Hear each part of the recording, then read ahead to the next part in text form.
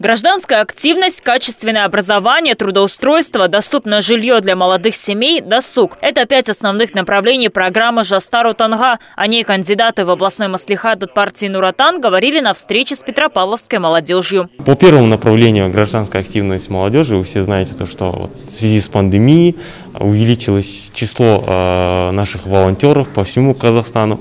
Работали более трех тысяч волонтеров именно по линии Жасутана по акции «Безбергемс». И мы хотим э, эту волонтерскую деятельность далее развивать.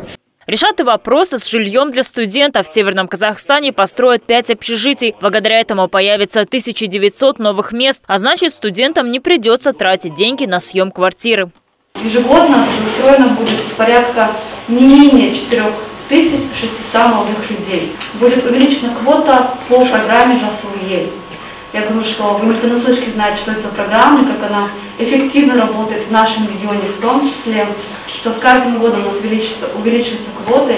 Увеличат и количество грантов для открытия своего дела. А для тех, кто не может найти работу из-за отсутствия опыта, действует молодежная практика. Плюс к имеющимся программам в следующем году заработает еще одна, которая поможет молодежи трудоустроиться.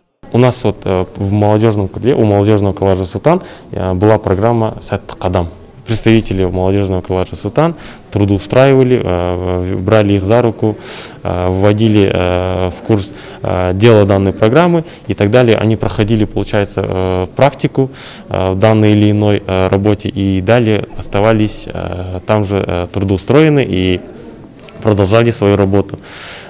Сет Кадам программа в 2021 году будет возобновляться. За пять лет существования этого проекта в Северном Казахстане трудоустроили более пяти тысяч молодых людей.